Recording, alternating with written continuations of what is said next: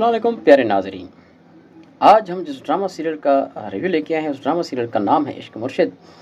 دوستو، آپ drama serial عشق مرشد کی آنے والی قسط انتیس میں آپ دیکھ سکیں گے کہ اس کہانی کا بڑا موڑ آپ کو نظر آئے گا۔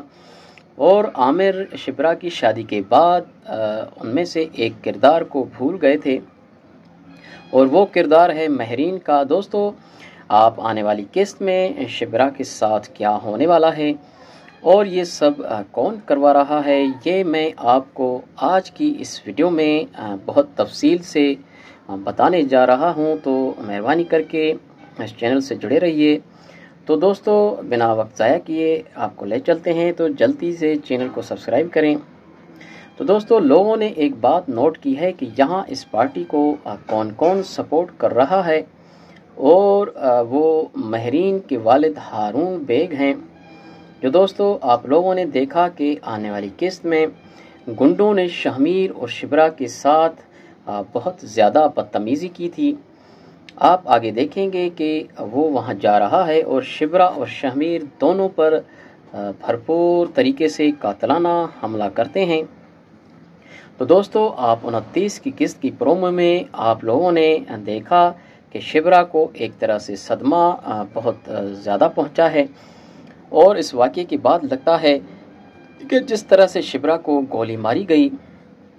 دوستو جی ہاں جس طرح سے شامیر اور شبرا کے بعد یا کہ دیگر مشکلات کا سامنا کرنا پڑ رہا ہے، اس کی ان لوگوں کی زندگی بہت زیادہ اچیرن ہوتی جا رہی ہے۔ کیونکہ اس کی شادی کو اس کے والد ایکسیپٹ نہیں کر رہے۔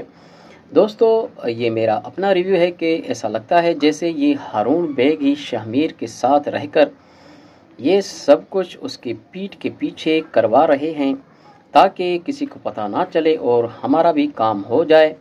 تو دوستو، آپ لوگوں نے اس ڈرامے کی ایک قسط میں ضرور دیکھا ہوگا کہ مہرین کوئی منصوبہ بنا رہی ہے اور شبرا کو راستے سے ہٹانا تو عین ممکن ہے کہ اس سب کے پیچھے مہرین کا ہاتھ ہو اور اس کا باپ اپنی اپنی بیٹی کی محبت میں شہمیر اور شبرا کے ساتھ ایسا کر رہا ہو۔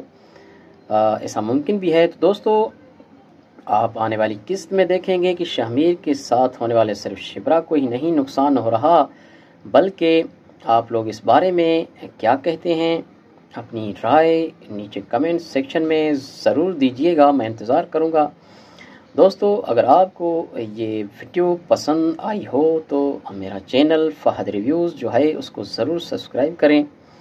اور بیل آئیکن کے نشان کو بھی ضرور دبا دیں، جو کہ مزید اپڈیٹس، ڈراماز کے پاک کی آنے والی ہیں، وہ آپ تک پہنچ سکیں۔ تو دوستو، آپ کو یہ ریویو کیسا لگا؟ عشق مرشد کی آنے والی قسط کی۔ اگر آپ کو یہ ریویو اچھا لگا ہو، تو مہربانی کر کے میرے اس ویڈیو کو ضرور لائک کریں۔ اور میں انتظار کروں گا کہ کون دوست جو ہیں میرے پیارے پیارے اس ویڈیو کو لائک کرتے ہیں۔ اور جو اس کو پسند کرتے ہیں، وہ تو ہمیں اس ویڈیو میں اپنے لائک بٹن لگا کے وہ ہمیں آگاہ کر دیتے ہیں۔ باقی دوستوں کا انتظار کرتا ہوں۔ تو دوستوں، ملتے ہیں اگلی ایپیسوڈ میں۔ تب تک کے لیے اللہ حافظ۔ اپنا خیال رکھیے گا۔ شب خیر۔